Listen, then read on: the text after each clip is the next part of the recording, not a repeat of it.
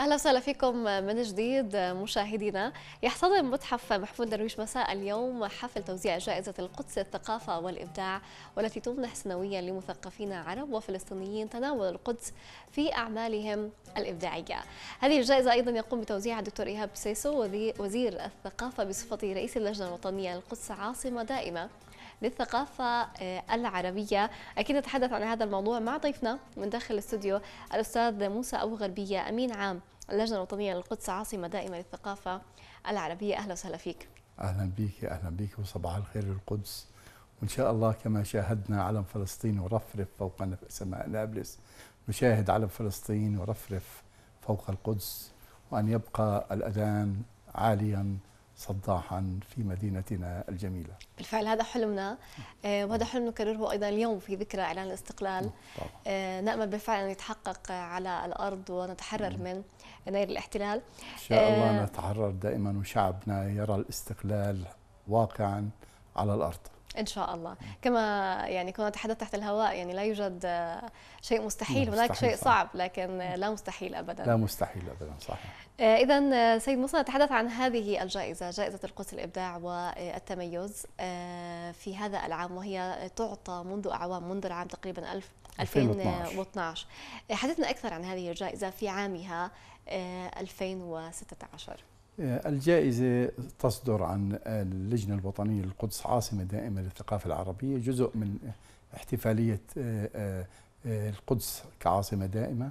هو برنامج صدر عن مجلس وزراء الثقافة العرب. انطلقت هذه الجائزة عام 2012 اعتبرت القدس عاصمة دائمة للثقافة العربية منذ عام 2010 ما زالت الاحتفالية مستمرة. كقدس عاصمة دائمة ويتم توأمتها مع العاصمة الثقافية المعلنة. لكن الجائزة هي إسهام من مدينة القدس في تحفيز الإبداع الثقافي تكريس لدورها التاريخي كمنارة ثقافية عربية أسهمت في الحياة الثقافية العربية بشكل جوهري وأساسي. كانت دائما محفزة للإبداع وينطلق الإبداع العربي خاصة في القرون الازدهار المدينة. كان الإبداع ينطلق من هذه المدينة ويتوج في مدينة القدس. لذلك ارتأت اللجنة الوطنية أن يصدر عنها جائزة تكرم المبدعين العرب والفلسطينيين من مدينة القدس. هذه المدينة الجريحة لكنها مدينة احتضنت الثقافة وقدمت للثقافة العربية. هذه المدينة التي تشجع الإبداع دائما وتحفز الإبداع أساسا. هي مادة للإبداع الثقافي كانت مادة للشعر الشعراء صحيح. ألهمت الشعراء ألهمت الموسيقيين. هي مدينة ذات خصوصية خاصة وحالة روحانية حالة ثقافية مميزة. لذلك هي تسهم في هذه الحياة الثقافية. بالفعل.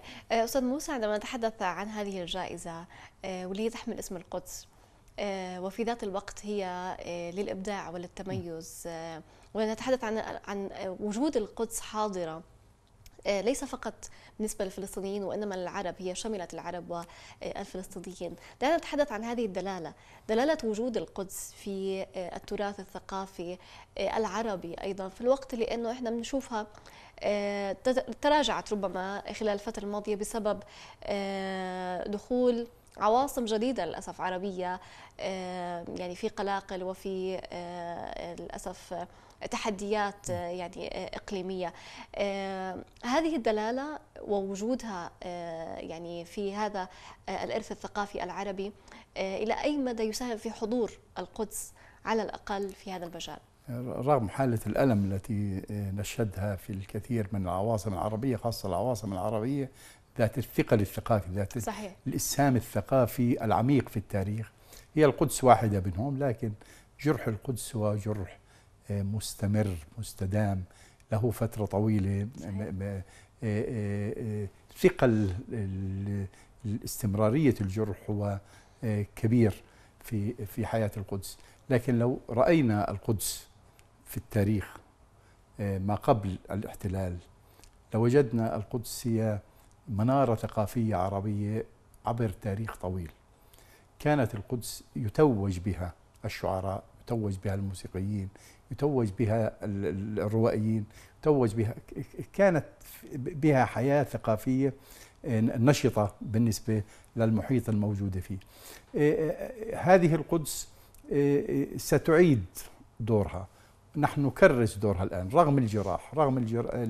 ما تتعرض له القدس رغم ما تواجه في المرحلة القادمة من ظروف صعبة شديدة لكن تبقى القدس مصرة على الإسهام بالحياة الثقافية العربية والإنسانية. بالفعل. آه، سيد موسى فيما يتعلق بالاحتفال اليوم سيكون الاحتفال في متحف آه، محمود درويش آه، شاعر محمود درويش الساعة الخامسة. حدثنا عن التحضيرات وأيضا إن كان هناك تحضيرات على مستوى آخر خارج فلسطين. هي الحقيقة تحضيرات متواضعة الآن. اللجنة الوطنية للقدس عاصمة دائمة تأخرت في الإعدادات. عادة نحن نعلن الجائزة في 12 لكن لفقدان رئيس اللجنة ومؤسس اللجنة الأخ عثمان أبو غربية. آه، كان له دور في آه، آه، تأخير الإعلان. نتيجة تغيير اللجنة أولا أصبحت هناك لجنة جديدة. اللجنة الجديدة تريد أن تأخذ دورها وقراراتها وتدرس الملفات بشكل معمق. تم التأخير عن الإعلان لكن هناك ترتيبات جميلة وبسيطة تحتضنها آه، متحف محمود درويش. محمود درويش آه، قدم القدس قصيدة جميلة ألهمت القدس بالشعر آه، قمة ثقافية فلسطينية مع قمة ثقافية عربية تحتضنها اليوم قاعة الجليل في متحف محمود درويش. هي مش الاحتفال النهائي. هذا العام كان لبنان حظ في الجائزة. سيعلن عنه مساء هذا اليوم. سنقوم بترتيبات احتفالية خاصة في لبنان. الاحتفالية الخاصة ستكون بسبب وجود شعبنا اللي في لبنان. بده يحتفل للآخر بده يحتفل بالقدس الذي أحب القدس ويتطلع للقدس. أيضا شعبنا اللبناني الذي يتطلع للقدس.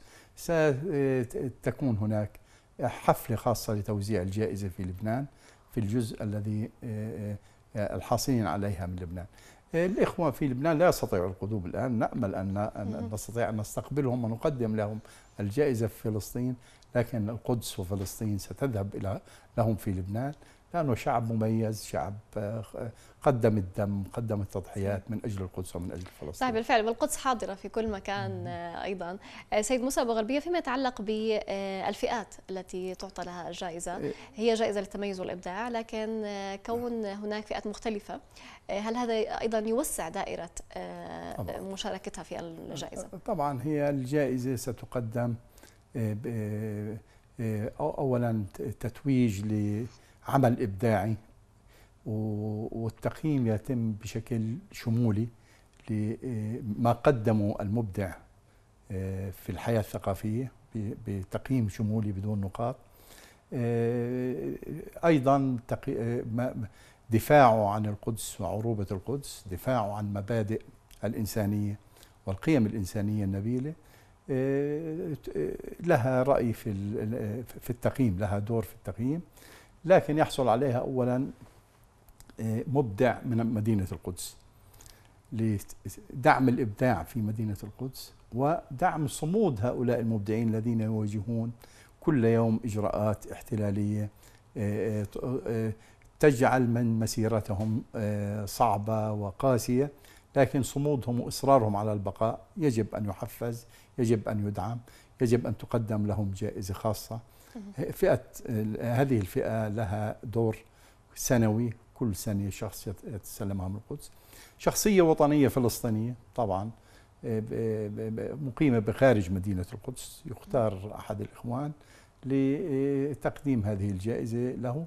أيضا هناك شخصية عربية وتقدم لشخصية إذا ثلاث ثلاث ثلاث لكن العام هذا العام تم استحداث جائزة جديدة باسم رئيس اللجنة. آه، المرحوم عثمان أبو غربية جائزة عثمان أبو غربية للإبداع المقاوم.